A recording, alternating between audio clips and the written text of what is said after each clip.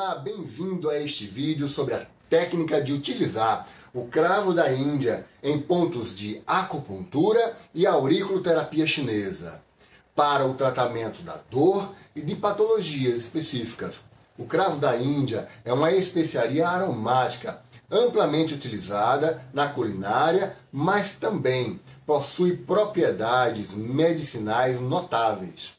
Nesta aula, vamos explorar as funções terapêuticas do cravo da Índia, bem como aprender como realizar essa técnica tanto em pontos de acupuntura como na auriculoterapia chinesa. E desta forma, o auriculoterapeuta ou acupunturista poderá potencializar os resultados do seu paciente. Mas antes de iniciarmos o vídeo, se inscreva no canal, clique no sininho para receber as notificações de novos vídeos e deixe seu like. Nos ajuda a impulsionar o canal cada vez mais.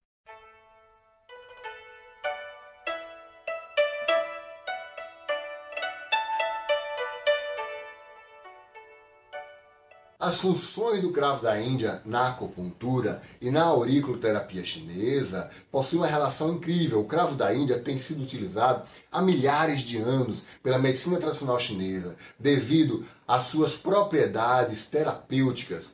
Entre as principais funções dessa especiaria no contexto da acupuntura e da auriculoterapia chinesa, nós podemos destacar Primeiro, a função analgésica, onde o cravo da Índia tem um efeito analgésico, ajudando a aliviar dores agudas e crônicas. A aplicação em pontos específicos pode estimular o alívio da dor em diversas partes do corpo. Também a sua função anti-inflamatória e suas propriedades anti-inflamatórias vão auxiliar no tratamento de condições tanto inflamatórias, como por exemplo artrite, tendinites e outras doenças que envolvam processo de inflamação das articulações ou de tecidos. O estímulo também à circulação sanguínea. O cravo da Índia tem uma capacidade de melhorar a circulação sanguínea, o que contribui para a regeneração dos tecidos afetados por lesões e acelera o processo de cicatrização. E também tem a função de relaxamento muscular. O uso do cravo da Índia em pontos apropriados da acupuntura ou da auriculoterapia chinesa pode auxiliar no relaxamento muscular, aliviando tensões e espasmos. Como realizar a técnica com o cravo da Índia? Nós vamos agora explicar. Agora que entendemos as funções terapêuticas do cravo da Índia, vamos aprender como aplicá-lo corretamente nas técnicas de acupuntura e de auriculoterapia chinesa. Escolha os pontos de acupuntura ou os pontos auriculares. Se você está realizando a acupuntura, selecione os pontos de acordo com a condição a ser tratada. No caso da auriculoterapia chinesa, identifique os pontos específicos na orelha relacionados à área da dor ou da patologia e pontos relacionados. A preparação do cravo da Índia, você deve utilizá-lo um cravo da Índia de boa qualidade. Eles podem ser inteiros ou pode utilizar em pó, dependendo da técnica que você está aplicando no paciente.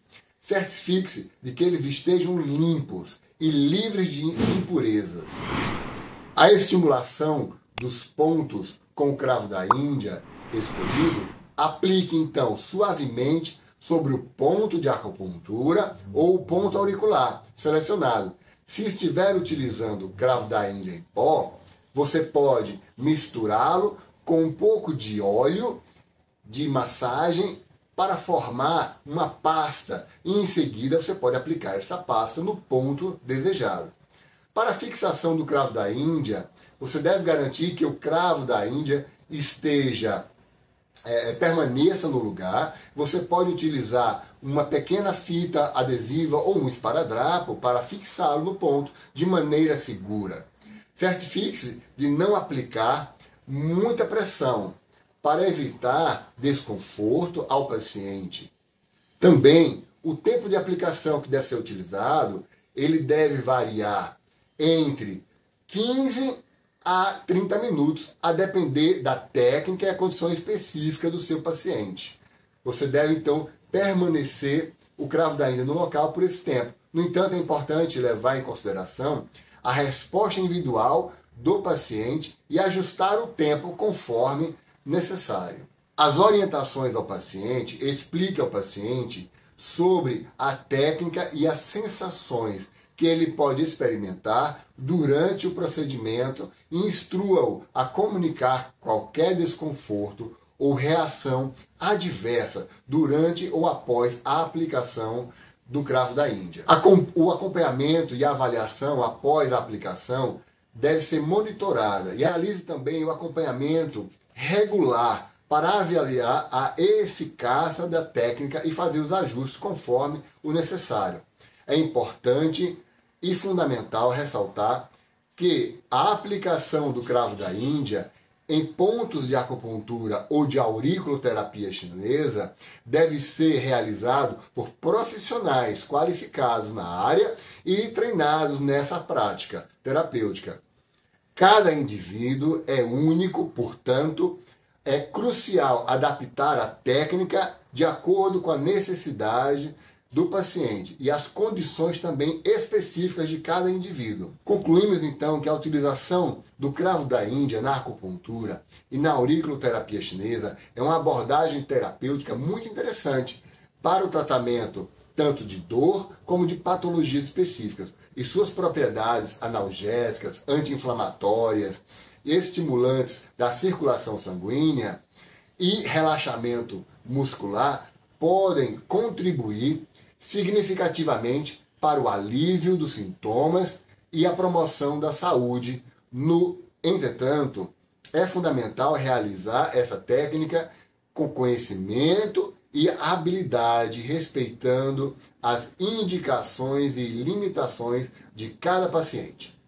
Sempre busque orientação profissional e qualificada para obter os melhores resultados e garantir assim a segurança do paciente. Ah, gostou desse conteúdo? Então faça um comentário aqui a respeito desse conteúdo, o que você gostaria que trouxéssemos em outros vídeos. Também compartilhe esse conteúdo com quem possa estar se beneficiando deste conteúdo. Nos vemos no próximo vídeo.